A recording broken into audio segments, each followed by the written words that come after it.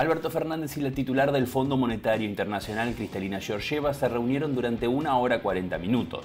Ambos coincidieron que el diálogo fue muy fructífero. La inflación de abril fue del 4,1% y dejó sin posibilidades al 29% de Martín Guzmán. Con los precios regulados pisados, la inflación núcleo siguió en alza. En los últimos 12 meses, el número llegó a 46,3%. Mientras tanto, el kirchnerismo aprobó el proyecto en el Senado que condiciona la negociación con el fondo. Horas antes de la reunión, el Senado aprobó una resolución que obliga a gastar en la pandemia el dinero que envíe el organismo.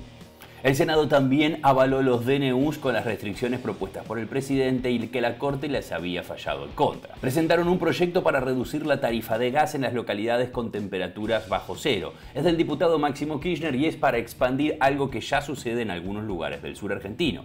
Incluye a 50 localidades de la provincia de Buenos Aires, todo Mendoza, 18 departamentos de San Juan, 6 de Salta y 1 de San Luis.